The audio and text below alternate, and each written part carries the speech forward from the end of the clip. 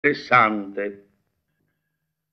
Questa, Marisa, bella, sconcertante, la segretaria più particolare, il giornale che ha davanti le nasconde il bel visetto, ma delle segretarie di concetto meglio vedere le cose più importanti.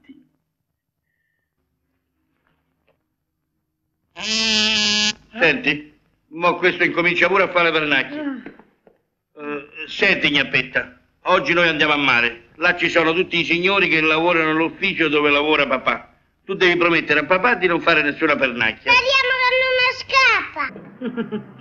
Oh, ecco fatto. E il cavaliere dov'è? Eccolo là, sta a chiacchierare, lo vedi? Ah, ecco. Senta un po', ma lei lo sa dove sta il Florida? E come no, modestamente io sono pratico. E allora andiamo avanti. Sì, eh. Ah, sbrigate che noi andiamo avanti! Cavaliere avanti, sempre avanti.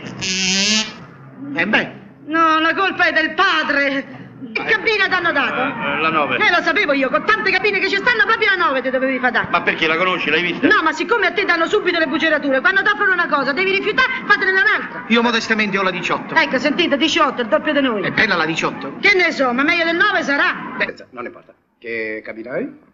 Mm, numero 9. Il numero 9? Molto bene. Adesso vado a prendere una cabina per me. Magari la decima, con il bagno. Il bagno poi lo faccio dopo. Addio, cara. Ciao, eh. Ciao. È la 9 questa, eh? Eh sì, E allora che sta l'hanno fare? data a me. Eh, che sta a fare lei qui? Ah, Sono venuta al mare col commendatore, una gita innocente. Sì, sì, giunga mia moglie e vado via con lei, eh? E così voi potete uscire tranquillamente.